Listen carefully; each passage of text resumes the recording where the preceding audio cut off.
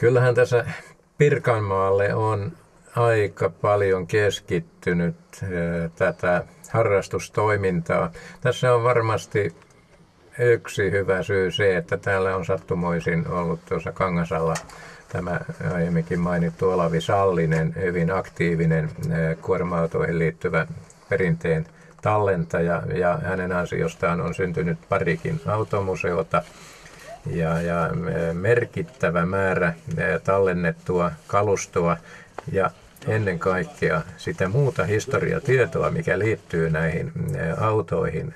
Hänen, hänen ansiostaan on talletettuna huomattavasti. Hän on ollut sellainen innostaja ja, ja avustaja kaikille, jotka vain suinkin tähän aatteeseen ovat vihkiytyneet. On lukematon määrä sellaisia harrastajia ympäri Suomea, jotka ovat saaneet häneltä sekä varaosia, neuvoja, materiaalia että muuta apua omaan entisöintiprojektiinsa. Niin kyllähän meillä jäsenistö tavalla tai toisella yleensä liittyy kuorma-autoihin omankin taustansa ja, ja siviilisäätynsä puolesta. Monella on kuljetusliike taustalla tai ollaan oltu korjaamo toiminnassa, kuten esimerkiksi minä elämässäni. Jostakin se liittymäkohta kuitenkin tähän kuorma-autoihin löytyy ja usein sitten se auto, joka on entisöitynä ja tallennettuna, niin silläkin saattaa olla tämmöistä ihan henkilökohtaista inspiroija taustaa. Nimittäin saattaa olla niin, että on, on isä aloittanut tai vaari aloittanut kuorma-autoilun juuri samantyyppisellä autolla, jonka sitten pojan poika on halunnut entisöidä ja kunnostaa esimerkiksi vaikka oman, oman yrityksensä rekvisiitta-autoksi tai perinneajoneuvoksi ja niin poispäin. Että tällaisia erilaisia taustatekijöitä löytyy, mutta hyvin usein ne ovat jotenkin kuorma-autoon liittyviä.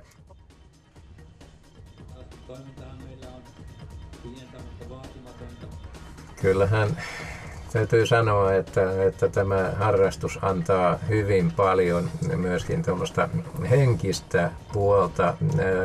Toki ne aineelliset uhraukset on aina läsnä, että maksaahan se jotakin, kun näitä kunnostetaan ja maksaa se, kun lähdemme kokoontumisajo keikalle ja maksaa se ylläpito. Mutta ne tuntuvat todella pieniltä uhrauksilta sen rinnalla, että sitten on todella hyviä ystävyyssuhteita syntynyt meilläkin, kun toiminnassa kuitenkin ollaan monetkin oltu jo mukana sieltä 80-luvulta alkaen. Ja vaikka emme vuoden mittaan muussa yhteydessä toisiamme tapaisi kuin näillä keikoilla, niin ne ovat kuin perheen yhteenliittymisiä ja, ja tuota, todellakin tässä on valtavan hyvä yhteishenki tässä seurassa. Se on sitä ollut aina ja se varmasti tulee sitä olemaankin. Täällä ajatellaan asioita samoin ja e, täällä ei ole sellaista turhaa kyynärpäätaktiikkaa tai kilpailuasetelmaa ja senistön keskuudessa. Kaikki tuntevat e, toisensa kohtuu hyvin ja, ja nauttivat siitä yhteiselosta ja olosta silloin, kun päästään näille keikoille mukaan. Paljon helpompi pistää pystyyn kuin tää. Tässä ei ole kaksi miestä, kun meidät on puomin ylös. Ja niitä on yläpuolella. Niin.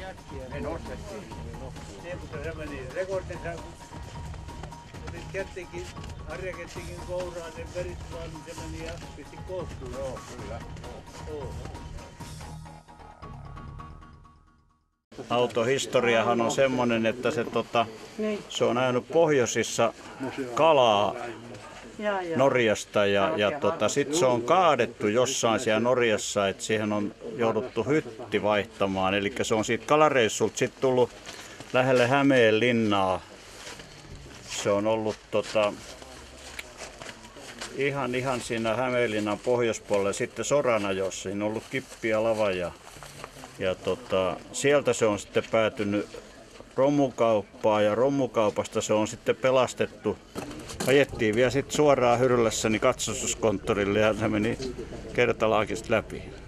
tämähän on tota, erittäin hyvä ajaa. Aamullahan me tota, Tuusulasta, Tuusulasta lähdettiin siinä varttiin valle kuusi ja oltiin, olisiko se ollut joku viisi minuuttia yli kahdeksan siinä Ikean pihassa. Ja, ja tota, tämähän on kuin henkilöauto.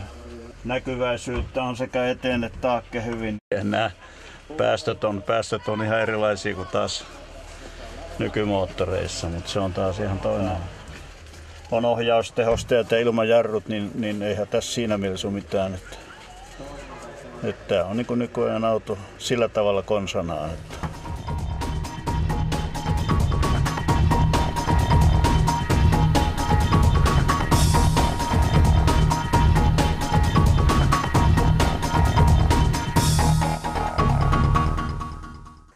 Niin, minun oma entisöintiharrastukseni oikeastaan alkoi tuolla 80-luvun alulla.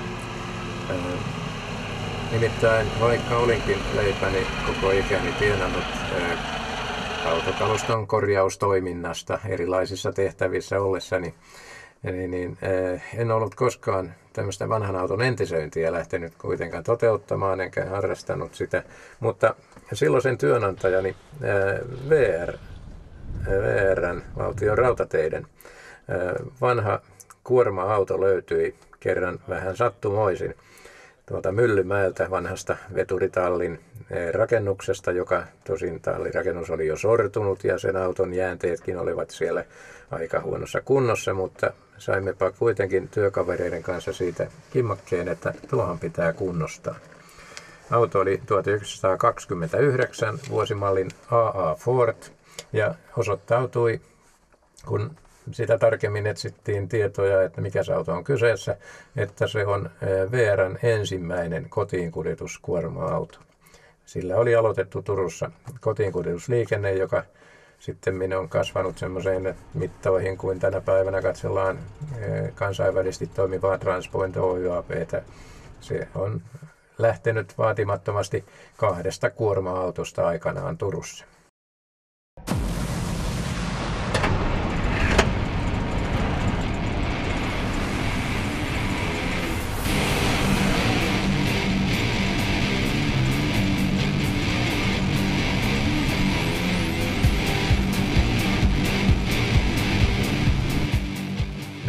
Tämä minun oma Opel Britsinihän on sikäli vähän erikoinen kulkuneuvo. Ei mitenkään teknisesti yhtään erikoinen, vaan, vaan tämän tuleminen minulle on aikamoinen asia.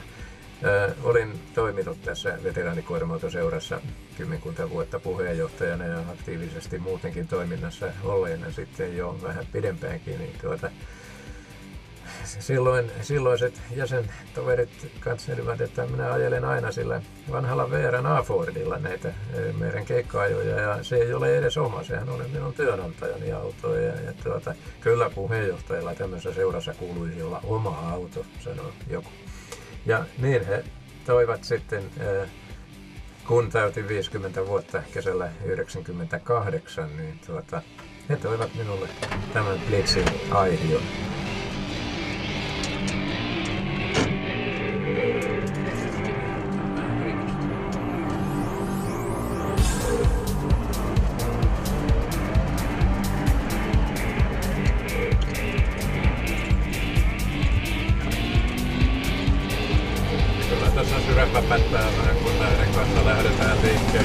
50-luvulla tämmönen pussihousu, jatsarisäpäs, rattirukkas yhdistelmä ihan yleinen kaikilla kuorma-automiehillä.